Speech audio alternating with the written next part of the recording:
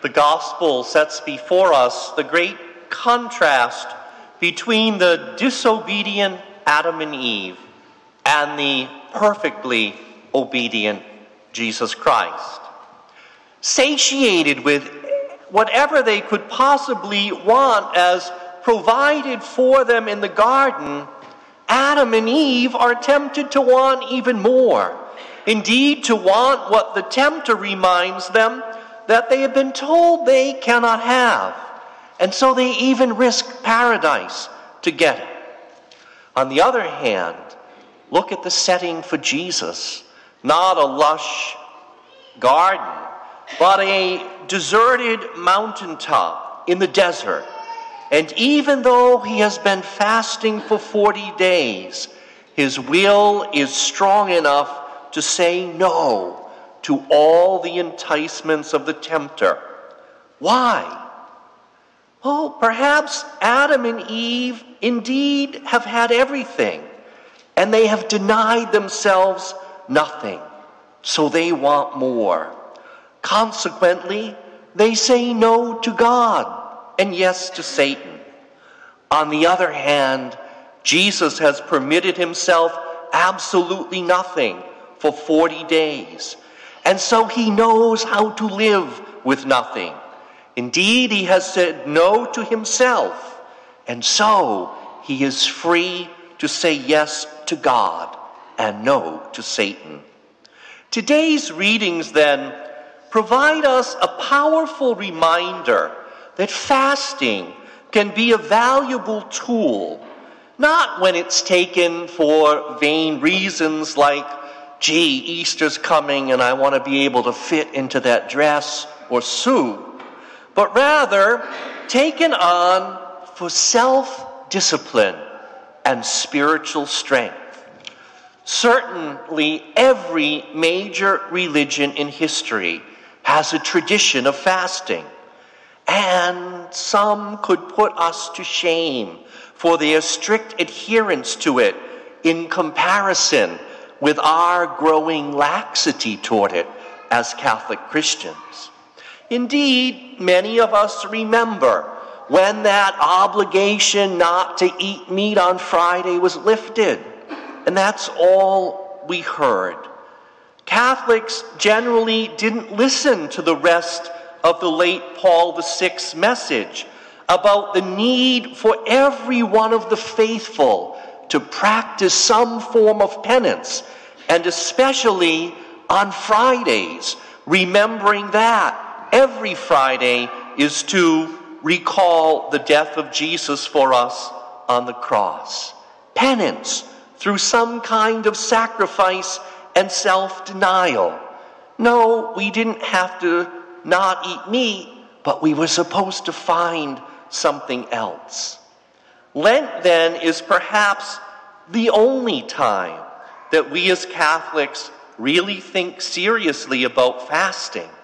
And then perhaps it's only on Ash Wednesday and Good Friday when fasting is legislated for us.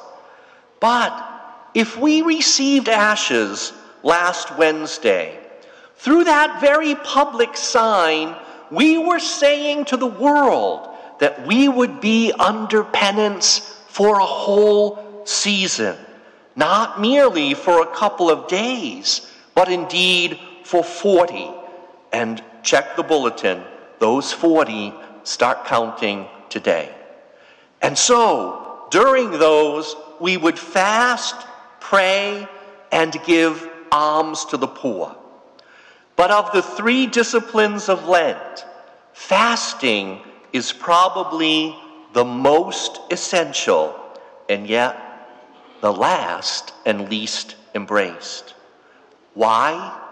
because we live in the first world.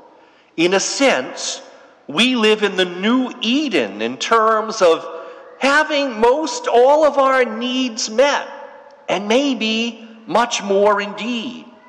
We live in the lap of luxury, whether we appreciate it or not, with the availability of all manner of goods and services at our disposal. The message of our consumerist culture is that it's almost our birthright to have it all.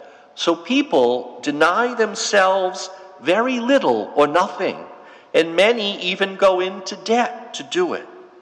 We have been trained not to take no for an answer from anyone, and least of all, ourselves.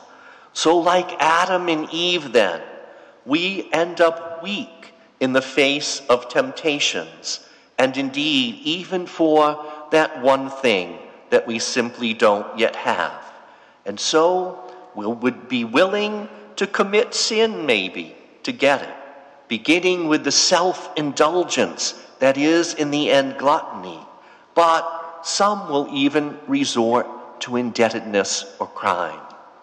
How important, then, is it that we rediscover the discipline of self denial?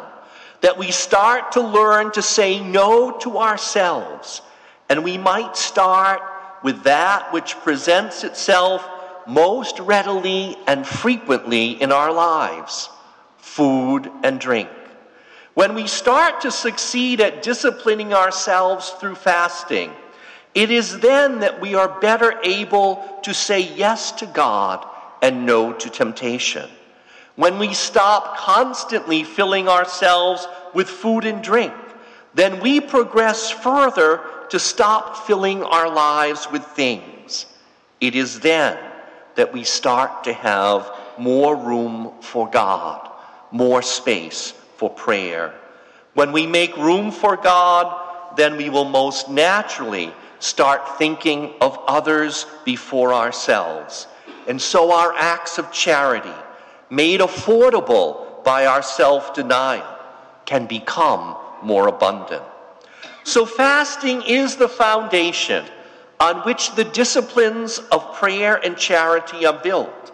So let this Lent be the one where we rediscover fasting and its many fruits for ourselves and for others. If we would but make that start today, day one of the Lenten season, and keep it throughout all 40, we will surely spiritually go into the desert with Jesus and we will emerge from the tomb with him at Easter more fully alive. For having died to our own desires through fasting that is fruitful for the poor, we will certainly be rising anew with, with him who laid down his life to save us all. So fast, pray, give alms. These are the disciplines of Lent.